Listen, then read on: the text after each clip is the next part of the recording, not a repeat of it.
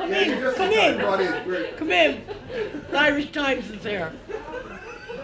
I'll flirt to them for a minute or two. And then again, I could get shell shocked. Don't think you will. Be lovely if he came and just, hi Chris, how are you? Imagine that.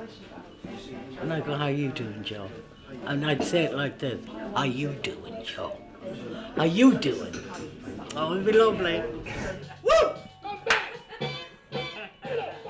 Very exciting. You can already feel the momentum building. Uh, there's definitely a vibe in the air here, and, and I think it's going to be great for the president.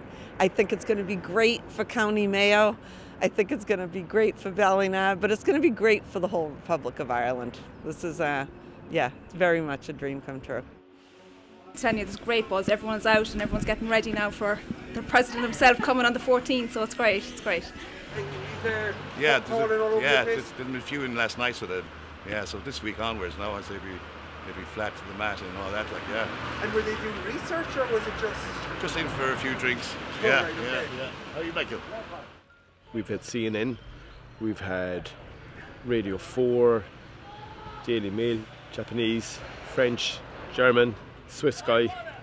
I have an Italian guy on to me, Chinese stuff. It's just, it's, it's, but they'll be all here next week.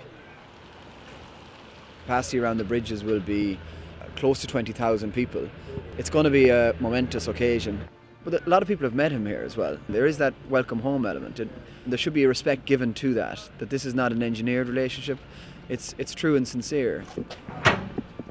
You're in Garden Street, Ballina, and this is reckoned by historians to be the original Edward Biden cottage.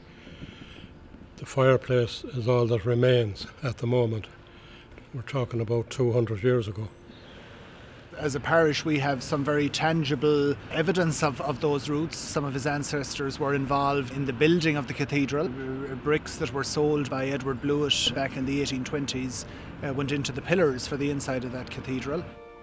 In 51, his wife and eight children, the whole family, moved to America. This was after the famine. I suppose he saw no future in Ireland at that stage. People dying on the roads. To have the President of the United States here in Ballina is, is a huge deal for, for this town and for everybody. And um, just slap it up and, and be grateful that, that kind of a native son would, would take the time to come back here. Sure, it, it's going to be unreal. You know, to have, to have a president of the United States come to a small little town like Ballina, it's going to be fabulous.